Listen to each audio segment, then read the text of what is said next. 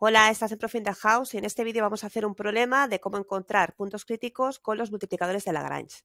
Tienes más vídeos sobre el tema de funciones de varias variables aquí abajo, en los comentarios de la descripción. Antes de hacer el ejemplo, voy a hacer una intro de cuándo aplicar los multiplicadores de Lagrange y los pasos a seguir, así que si quieres irte directamente al problema, mira en la barra de tiempo de aquí abajo que está indicado. Pues empiezo. Nos darán una función que es la que tenemos que optimizar, la que hay que encontrar máximos y mínimos o puntos críticos sujetas a una condición, una restricción. En este caso está de aquí. x al cuadrado más y al cuadrado igual a 1, esto es una circunferencia de radio 1. Es decir, me están pidiendo extremos relativos de esta función que además cumplen que están aquí, en estos puntos frontera de esta circunferencia. Esa es la primera condición para aplicar multiplicadores de Lagrange, que solamente se puede aplicar en los puntos frontera. Es decir, que la clave está en este signo, cuando me dan una restricción igualada a algo. Si me hubiesen dado x al cuadrado más y al cuadrado menor o igual que 1, tendría que encontrar los máximos y mínimos de todos los puntos que cumplen esta área de aquí. Tendría que calcular máximos y mínimos de esta función por el método habitual, el gesiano y demás, mirar de todos esos puntos que me han salido cuáles están aquí dentro, cuáles cumplen la desigualdad y después, además, podría aplicar multiplicadores de Lagrange para encontrar extremos en los puntos frontera. Es decir, que solamente puntos fronteras, cuando tenemos el igual. Voy a explicar los pasos a seguir. Me darán una función que es la que tengo que optimizar. Esa se llama función objetivo, que está sujeta a una restricción. La primera cosa importante es que tiene que estar igualada a cero. Si no está igualada a cero, tengo que despejarlo todo a un lado para dejarlo igualada a cero. Esta será mi función restricción. En el primer paso, tenemos que construir la función de Lagrange, que es esta de aquí. Es mi función objetivo menos un parámetro, en este caso lambda, que es un multiplicador de Lagrange multiplicado por la restricción. Si tuviese más restricciones, tendría que seguir multiplicando por parámetros y restando esa función restricción. En este caso solamente tenemos una restricción. En el segundo paso tenemos que calcular los puntos críticos de esta nueva función, es decir, hacer las derivadas parciales e igualarlas a cero. Tendremos que hacer respecto de x, respecto de y y respecto también de la lambda, que es una nueva variable que hemos incorporado. Y en el tercer punto, si solo me piden que calcule puntos críticos o valores máximos o valores mínimos de una función, sustituyo los puntos y miro cuál es el que me da más alto y el que me da más bajo. Si me piden que clasifique todos esos puntos críticos que me han dado como resultado, allí dentro habrá máximos, mínimos y puntos de silla, ya el proceso es mucho más largo. Y antes de hacer el ejemplo, a mí me da muy bien que me pongáis comentarios para luego saber cómo enfocar mis vídeos, sobre todo de cosas como esta. Si esta explicación te sobraba, me lo pones. ¿Que esta explicación te ha servido para entender mejor cuándo hay que aplicar Lagrange? Pues también me lo pones. Vamos a hacer el problema. Tenemos que encontrar los puntos críticos de esta función sujeta a esta restricción. Así que mi función objetivo es la f y mi función restricción es esta de aquí, pero la tengo que tener igualada a cero. Así que paso el 1 a la izquierda. Ya la tengo igualada a cero, así que mi función restricción será x al cuadrado más y al cuadrado menos 1. Primer paso, construimos la función de Lagrange. La función de Lagrange es igual a la función objetivo menos el multiplicador de Lagrange por la restricción, que aquí me he dejado la i. Así que en mi caso, mi función será igual, función objetivo, x por y, menos el multiplicador de Lagrange por la restricción. x al cuadrado más y al cuadrado menos 1. Voy a multiplicar este paréntesis porque tendré que derivar lambda por x al cuadrado menos lambda por y al cuadrado y menos por menos queda más lambda. Segundo paso. En el segundo paso tenemos que hacer las derivadas parciales igualarlas a cero. Empezamos haciendo la derivada parcial respecto de x, de esta función de aquí.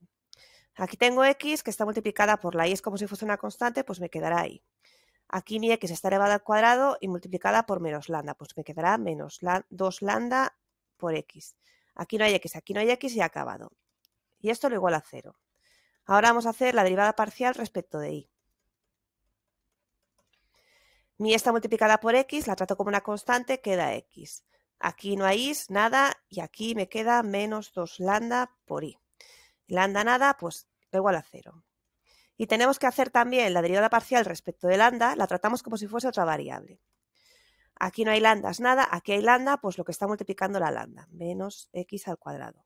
lo que está multiplicando la lambda, que es como si fuese una constante, menos y al cuadrado y derivada de lambda más 1.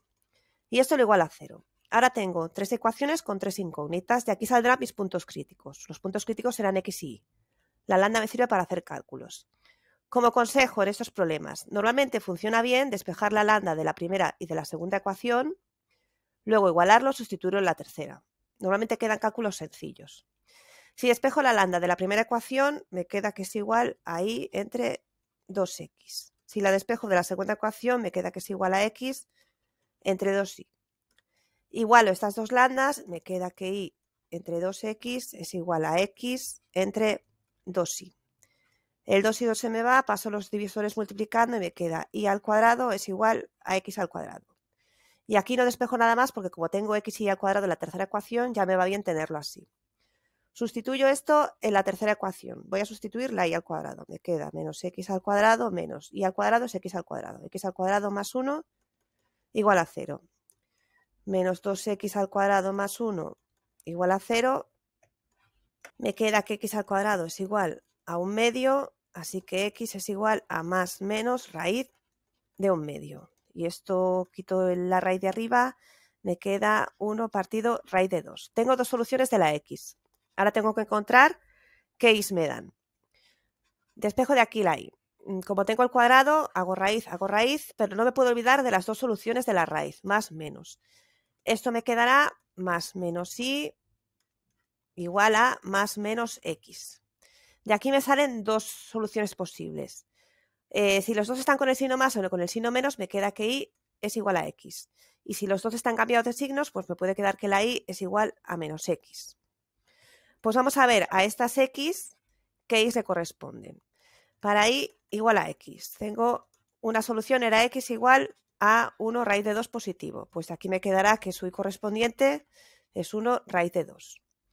Para la x igual a menos 1 raíz de 2, pues su y será igual a menos 1 raíz de 2. Para el caso igual a menos x. Para mi x es igual a 1 raíz de 2 positivo, pues su y será, cambiado de signo, menos 1 raíz de 2. Y para el caso x igual a menos 1 raíz de 2, pues me quedará cambiado de signo 1 raíz de 2. Así que yo ya tengo los puntos críticos, que son estos cuatro puntos de aquí. Así que mi tercer paso tengo como puntos críticos, hago un salto para que sea más rápido, tengo estos cuatro puntos críticos y en el problema me piden que los clasifique porque aquí dentro hay máximos, mínimos y puntos de silla. Si me pide que los clasifique, como estemos relativos, cuáles son máximos relativos, mínimos relativos, tengo que hacer un proceso muy largo. Pero si solamente quieren saber cuál es el valor máximo que alcanza la función y cuál es el valor mínimo, entonces solamente tengo que sustituir estos valores en la función y mirar cuál es el valor que me da más alto y el valor que me da más bajo. Mi función en el primer punto, mi función a optimizar era x por y, mi función objetivo. Pues esto me quedará 1 raíz de 2 por 1 raíz de 2, esto es igual a un medio. Voy a sustituir los demás y voy a hacer otro salto para que no sea tan largo. He sustituido estos cuatro puntos en la fracción y me han dado estos cuatro valores. Yo veo que el 1 medio en estos dos puntos es el valor más alto y el menos 1 medio en estos puntos es el valor más bajo. Por lo tanto, yo sé que tendré el valor máximo de la función en estos dos puntos. El 1 raíz de 2, todo positivo, y el 1 menos 1 raíz de 2, todo negativo. Es mi máximo absoluto. Y en el caso de los que son negativos, pues yo sé que es el valor mínimo. De 1 raíz de 2 menos 1 raíz de 2 y al revés menos 1 raíz de 2, 1 raíz de 2. Si este vídeo te está resultando de ayuda, puedes darle al me gusta y recordarte que tenemos más vídeos sobre funciones de varias variables en el canal, así que te puedes suscribir. En este caso, como tenía varios puntos, yo veo claro cuál es el valor máximo y el valor mínimo de la función. Pero imaginad que solo me hubiesen dado dos puntos y que los dos me dan un medio, o que solo tengo un punto que me da un medio. ¿Cómo sé si esto es un valor máximo o un valor mínimo?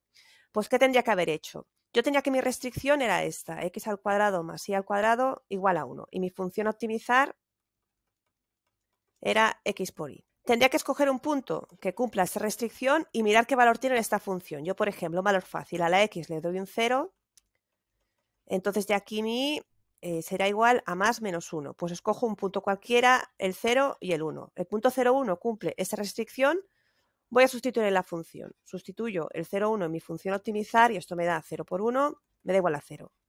Yo hubiese visto que este valor que me ha dado es más grande que el valor de cualquier otro punto. Por lo tanto, sabría que es un valor máximo. Cuando solo tengamos un resultado o dos resultados que son iguales, tendremos que escoger un punto cualquiera que cumpla la restricción, sustituirlo en la función y ver qué nos da y comparar. Pues hasta aquí ya estaría.